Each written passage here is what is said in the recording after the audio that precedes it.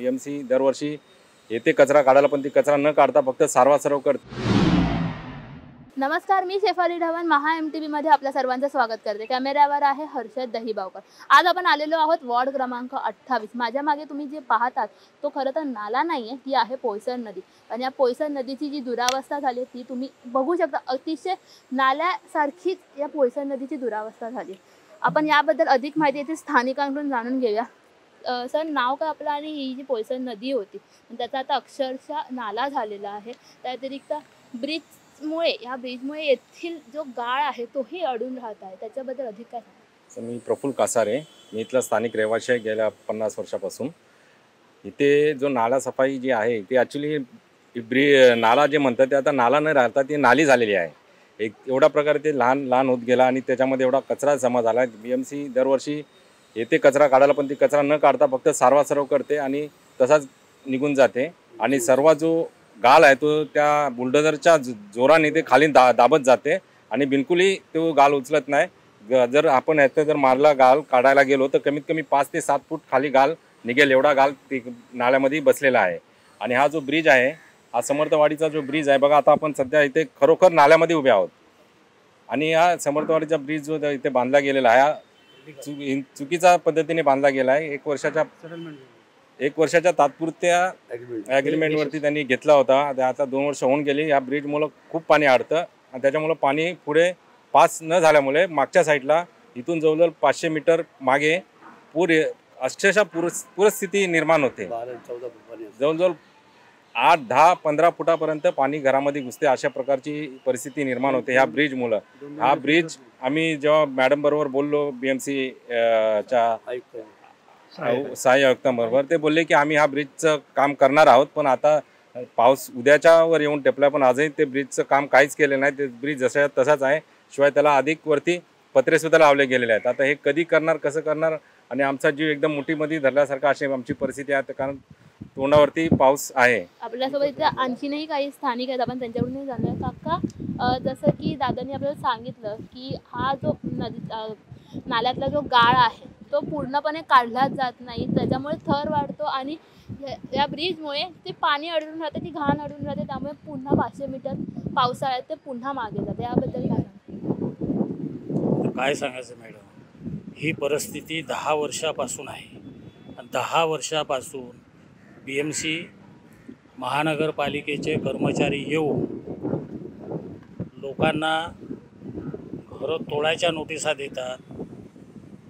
पण आमचा जो प्रश्न आहे हा प्रश्न तुम्हाला माझ्या सहकाऱ्यांनी सांगितलेला आहे की आमचा प्रश्न एवढाच आहे की नाल्याचं रुंदीकरण जर करायचं असेल तर तुम्ही पर्यायी आम्हाला घराच्या चाब्या द्या आणि नंतर तुम्ही पुनर्वसन इथे करा नाल्याची भिंत बांधा आमची काहीही मनाई नाही. परंतु दहा वर्षापासून नुसतं बी एम सी लोकांना खेळवत आहे. नोटिसा देतात पण आमचा प्रश्न आतापर्यंत निकाली केलेला नाही. मध्यंतरी स्थानिक आमदार अतुल भातकरनी आम्हाला या संदर्भात बरंचसं सहकार्य केलेलं आहे. त्याच्यामुळे काही लोकांना दिलासा मिळाला आहे. कारण ते याच्यावर ठाम आहेत का त्यांना पहिला तुम्ही चाब्या द्या. नंतर तुम्ही नाल्याची भिंत बांधा. पण हे लोक आमची एवढी दिशाभूल करतात एवढी दिशाभूल करतात का या लोकांनी आम्हाला चक्क तुम्हाला आम्ही सदनिका देतो. पण सदनिका इथं अवायलेबल नाही. त्या संदर्भात आम्ही चार वेळा बी एम सी आयुक्ताबरोबर मिटिंगी लावल्या. त्याच्यामध्ये स्थानिक आमदार होते त्याच्यामध्ये कलेक्टर होते त्याच्यामध्ये प्राधिकरणाचे लोक होते. या सर्वांच्या समोर मान्य केलेली गोष्ट ते आजपर्यंत करू शकली नाही. आणि या ठिकाणी हे जे आता ब्रिज आपण या ठिकाणी ब्रिज ब्रिजची व्हिजिट करत आहोत हा टोटली इलिगल ब्रिज आहे. एक वर्षाच्या ॲग्रीमेंटवर इकडून जो सहकार्य केलं बिल्डरला ठीक आहे त्यांच्यामध्ये समझोता झाला.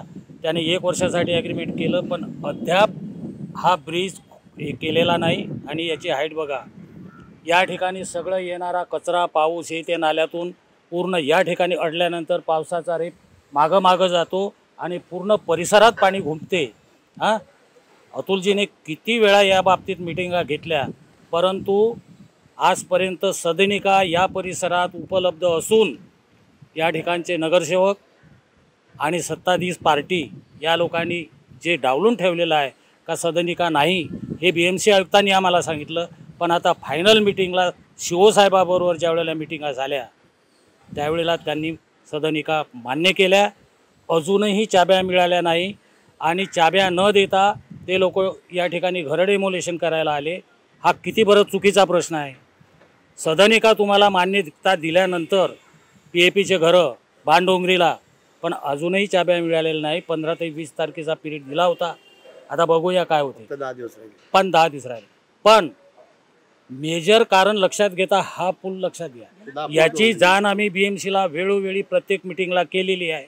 एक वर्ष झालं पण आता दुसरा पावसाळा आलेला आहे. या पुलामुळे परिसरात तिथे पाणी मागं गेल्यामुळे घरं पळायचं कारण काय? घरं पळायचं कारण हा पूल आहे. घरं पळायचा कारण तिथे पालशाळेच्या ठिकाणी जो ब्रिज आहे त्या ठिकाणी जो नागमोडी पूल झालेला आहे त्या इथे एवढा नाला दिसतो रुंदी त्याच्यामध्ये फक्त तिथं दहा दहा फुटावर नाला आलेला आहे. हे या बी एम सीच्या लोकांना दिसत नाही. नुसतं बिल्डर फिरवतात याच्यामध्ये बुलडोझर आणि लेवल करतात. माती जच्च्या तशीच आहे. आजही या ठिकाणी खोदलं तर इथं सात ते सहा फूट माती आहे. याच्यामुळे नागरिकांची खूप हानी होत आहे.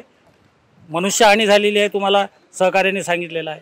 मिलिंदमध्ये शिवनेरीमध्ये दोन तीन ठिकाणी. तर ही परिस्थिती ही परिस्थितीचा फॉलोअप तुम्ही पुढे करा. आणि जरा बी एम सी अधिकाऱ्याचे कान उघडा. एवढीच माझी विनंती आहे. ही परिस्थिती या ठिकाणी आहे. तर जसं की आपल्याला स्थानिकांकडून कळतंय की साधारण म्हणजे हा नाला साफ तर होतच नाहीये त्या व्यतिरिक्त हा नाफ नाल्यामध्ये जो गाळ साचलेला आहे त्याचा थर एवढा झालेला आहे की एक कुत्रा सुद्धा त्या नाल्यामधून चालत येतोय. म्हणजे तुम्ही विचार करा एक माणूस त्या नाल्यातून चालत येतोय. नाल्यातून एखादा माणूस किंवा एखादा जनावर चालत येऊ तरी कसं शकतं? पण एवढा त्या नाल्यात कचऱ्याचा थर साचलेला आहे.